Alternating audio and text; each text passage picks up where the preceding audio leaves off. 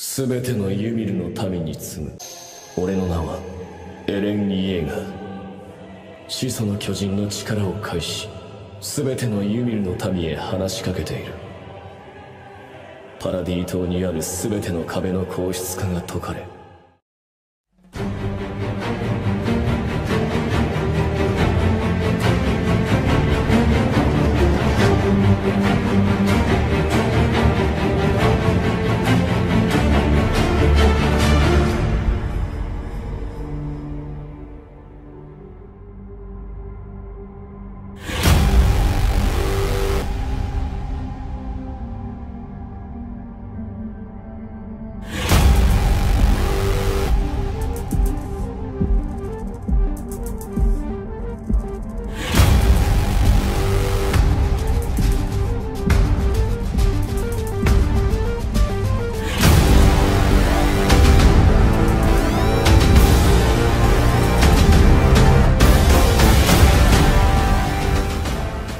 その中に埋められていた全ての巨人は歩み始めた。